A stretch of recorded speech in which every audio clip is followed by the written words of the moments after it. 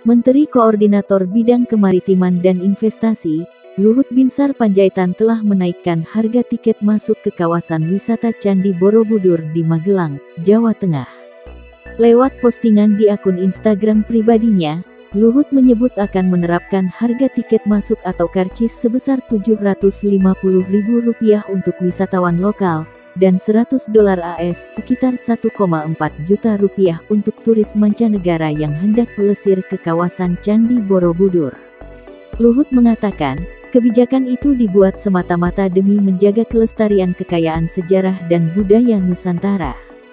Maka, kata dia, selain menerapkan tarif yang lebih mahal, pengunjung Candi Borobudur juga akan dibatas. Setiap harinya kata Luhut, pengunjung di kawasan Candi Borobudur dibatasi sebanyak 1.200 orang. Nah tadi mengenai Borobudur kita sudah putuskan juga akan apa, membatasi orang naik hanya 1.200 per hari. Dari 1.200 per hari itu kalau orang asing kita kasih 100 dolar, kalau yang dalam negeri kita kasih tadi 700 ribu, kemudian anak sekolah tadi ada yang turun 50 ribu tapi kita putuskan dari 5 ribu rupiah karena biar anak sekolah itu 25 persen dari jumlah itu anak-anak sekolah kita bisa juga menikmati. Tapi kenapa kita lakukan itu?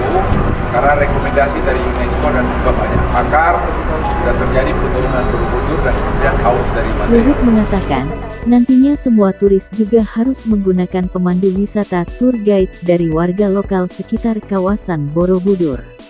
Ini kami lakukan demi menyerap lapangan kerja baru sekaligus menumbuhkan sense of belonging terhadap kawasan ini sehingga rasa tanggung jawab untuk merawat dan melestarikan salah satu situs sejarah Nusantara ini bisa terus tumbuh dalam sanubari generasi muda di masa mendatang, ujar Luhut.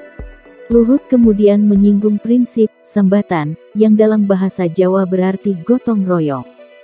Menurutnya, Prinsip itu dipakai untuk bersama-sama mengembangkan konsep Candi Borobudur sebagai laboratorium konservasi cagar budaya bertaraf internasional.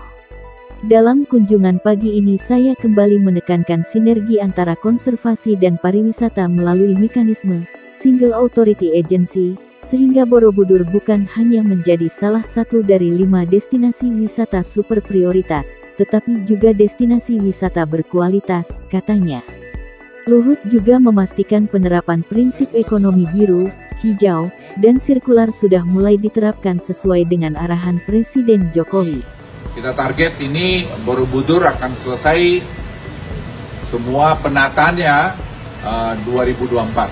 Jadi nanti uh, sudah akan cantik Presiden sudah merintahkan itu dan uh, tadi budget yang terakhir kita tadi usulkan untuk di sini tadi 6,